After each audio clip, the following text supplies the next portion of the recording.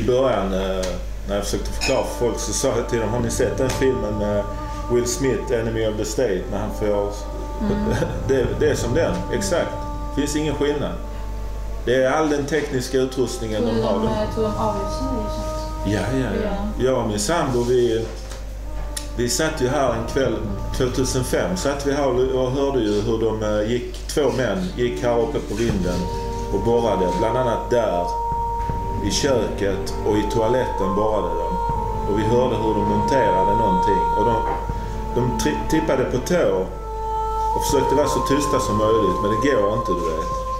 Det är ett gammalt hus. Det är ju bara vanligt virke där uppe så det knastrar och knarrade. Och då satt vi här och lyssnade. Vi riktigt hörde att det var två personer.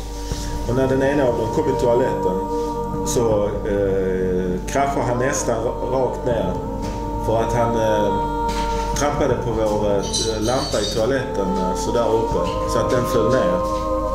Fram tills den dagen de var där uppe så gick vår nyckel upp till vinden också. Alla vi som bor där. Och eh, vaktmästarna som eh, jobbar här runt omkring de sa till oss att om inte alla våra grejer får plats i källaren så kan vi gå upp på vinden, kan vi lägga en del grejer där.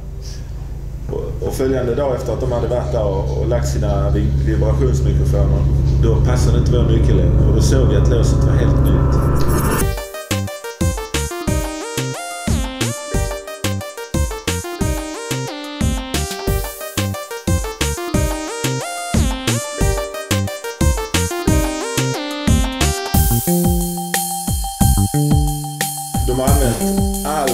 Tekniska utrustning de har tillgång till och skulle inte förvåna mig om de har beta- eh, köpt in det senaste bara för min skull.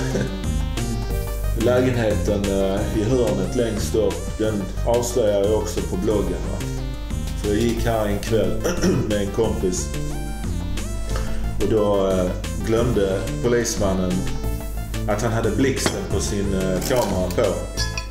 Så då blixtrade till där uppe i tredje våningen och då tittade jag snabbt upp. Och då stod han så här och tittade på sin kamera liksom. Att blixten var på. Och så tog han ner den snabbt och så bara vände han upp huvudet. Huvudet så och så.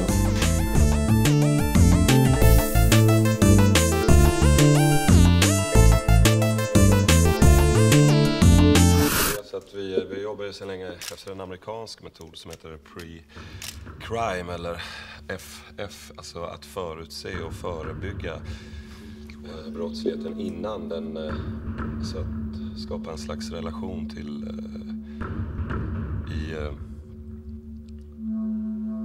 Har ni vidtagit några åtgärder?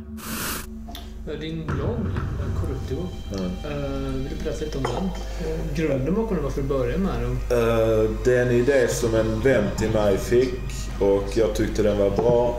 Och eh, han startade den till mig och sen skrev vi tillsammans. Jag stod för eh, alla avslöjande och så.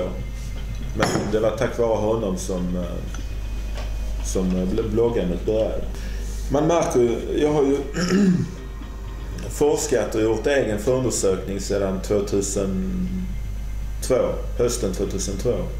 Där jag upptäckte då att uh, uh, polisen i Stockholm sålde beslagtagna vapen till eh, invandrargäng och mc-gäng framförallt. Va? Men även till vem som helst. Men de riktade in sig på invandrargäng och mc-gäng. Och eh, den härvan var ju så pass allvarlig att jag var tvungen, kände mig tvungen att eh, måste få ut det här. Så jag började ju de första åren efter 2003. Då eh, gjorde jag bara en massa anmälningar.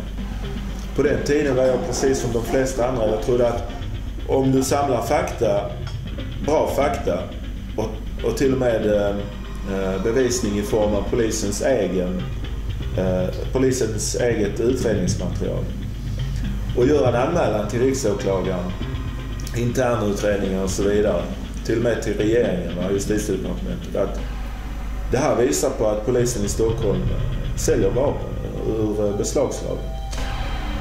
Och på den tiden var jag, som jag sa, precis som alla andra, man, man tror att nu kommer det hända saker och ting. Detta är ju allvarligt. Och de bara lägger ner. Tror du verkligen på det?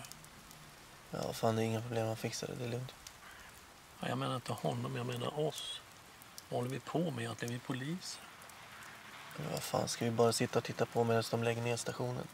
Nej, men Dessutom så gör vi inga brott, vi hjälper bara upp statistiken lite grann.